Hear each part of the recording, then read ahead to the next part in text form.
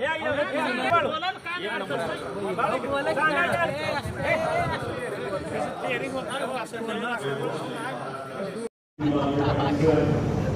एक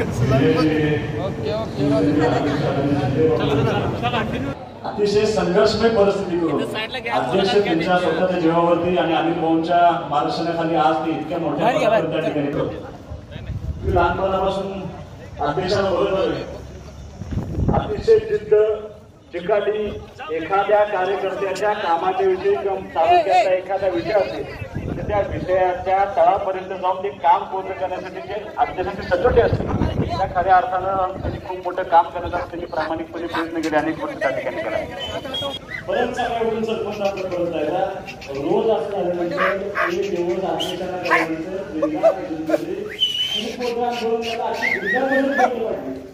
आणि त्या सरपंच काम एका दिवसात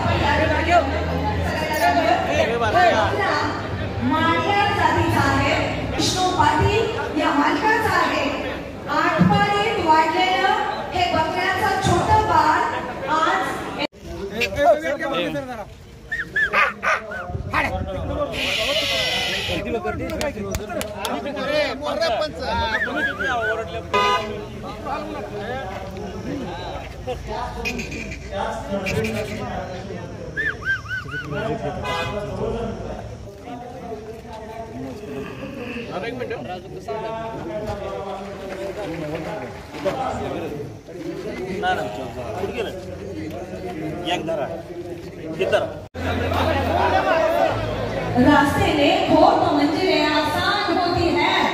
सपनों से कुछ नहीं होता अरे मान होती है.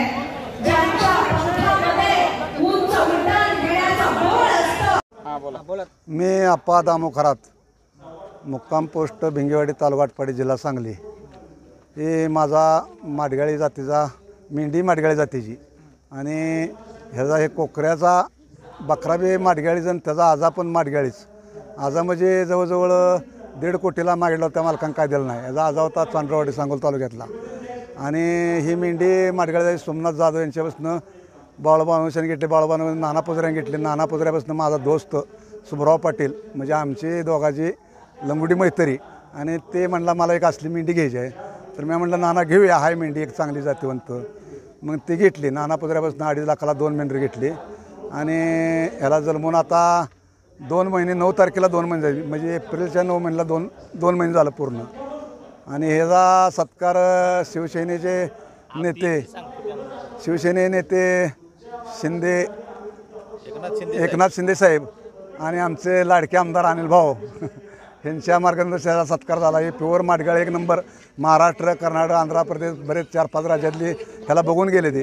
पण ते मा आता ह्याची आता ह्याची सध्याची किंमत ह्याला एकतीस लाखाला मागितला आहे. पण आम्ही जवळजवळ साठ सत्तर लाख आलं तरी पण देत नाही. हे आम्ही ह्याचं ह्याचा पैदास करणार आहे. आणि आईचं पे तुटल्या आमच्या मालका आमच्या मालका मालकाची सुभराव दोस्ताही माझी इच्छा आहे. ही जवळजवळ आई बसणं पाक तुटाक झाल्याशिवाय ह्याची किंमतही बोलायला नाही सांगायला रोज एक शंभर दीडशे माणसं रोज ह्याला बघायला येते ती. आणि हे प्युअर माडगाळ असल्यामुळं आधी जत माडगाळ सांगोल तालुक्याचं जत तालुक्यात होतं. पण आता इथं आमच्या आटपाडीतच माडगाळ झाले आणि मग मालक सुभराव पाटील ह्याला भयंकर नाद असल्यामुळं मी याचा सांभाळ केलेला आहे. मी एकोणीसशे शहाऐंशी साली सुरुवातीला मेंढ मेंढपाळ मेंढ माडगाळला गेलेला आहे. आणि वर नेलं मेंढी असल्यामुळं त्याचा मी सांभाळ भरपूर करणार आहे. विलासराव विष्णू पाटील राहणार आटपाडी जिल्हा सांगली. माझे मोठे भाऊ सुभराव विष्णू पाटील यांना नाद म्हणले घेऊ एक चांगली माडगाय दोन मेंढ्या घेऊया. मग ते बाळूबा नऊशे म्हणून आहेत त्यांच्याकडून घेतल्या. अडीच लाखाला दोन मेंढ्या. नंतर मग नानांचे दोस्तांचे आप्पा खरात आहेत भिंगेवाडीचे. त्यांना नाद भरपूर. ते म्हणले आपल्या मेंढ्या ठेवूया. त्यांच्या मेंढ्यात आहेत ते स्वतःच ते सांभाळ करतात. आणि एकवीस लाखा एकतीस लाखाला मागतात. शिंदे सर सरकारच्या हस्ते सत्कार झाला.